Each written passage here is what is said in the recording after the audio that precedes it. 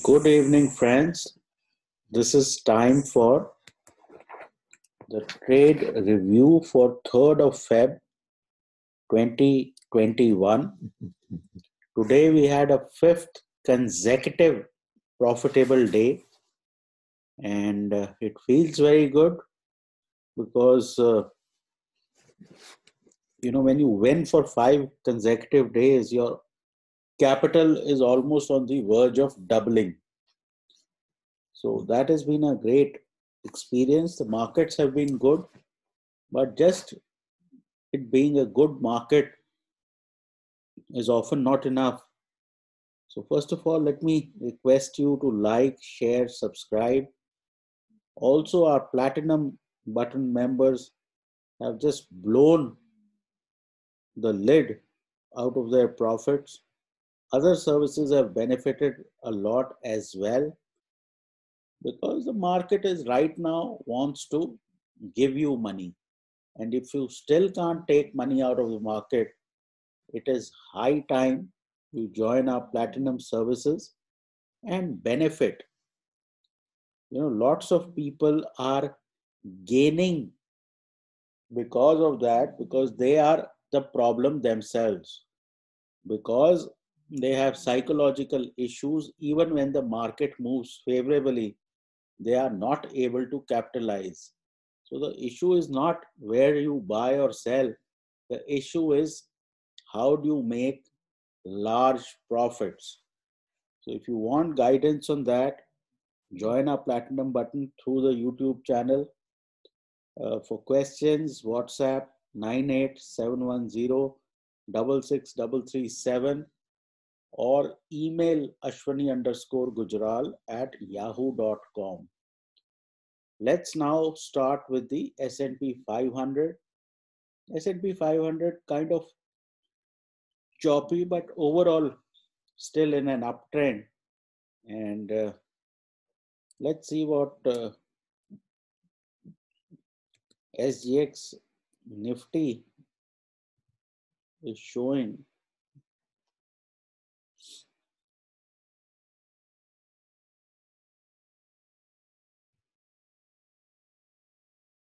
SGX Nifty still higher by, I think, 30 odd points. So nothing changes there. Now let's talk about what we did in the morning. And today was very, very instructive. Let me show you my uh, positions. As you can see here, we first bought the 14700 put and uh, we lost about 1 lakh 34,000. Then we came back and bought the 14700 call and increases, increased our volume. So finally on a net basis, we took home 3 lakh 25,000 and uh, fairly decent money was made uh, by our clients also. So this is how we do that we set with you show you what we are doing in our account and all you have to do is replicate understand and follow. So that's as simple as it gets. So let's go back and see what we did.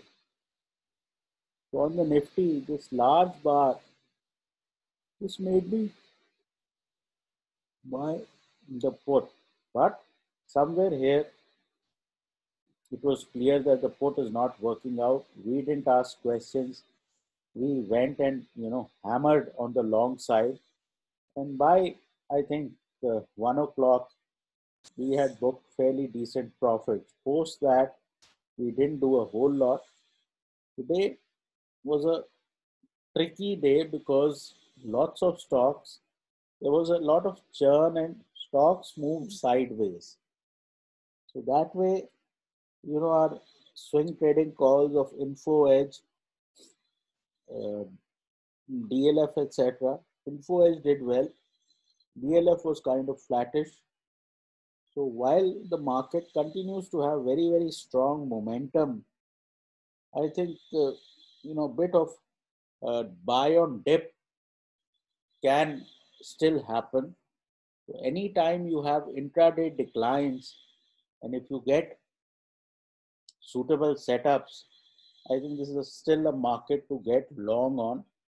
I think at some point you will see 15,000 and uh, 14,600 broadly.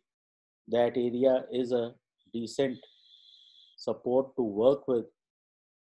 Overall, if you ask me, 15,700 has now opened up.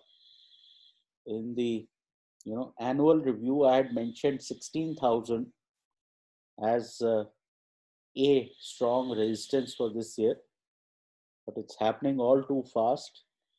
But you know, my problem is even in these markets, people are not able to make money. It's not the setup, it is not the level, it is you who is standing in the way of a profitable trade. So, if you want to sort out your psychological issues, I think uh, platinum join button is a key to all your problems. And uh, for the moment, I think Nifty, Bank Nifty, everything is headed up. And uh, we should take long positions on all available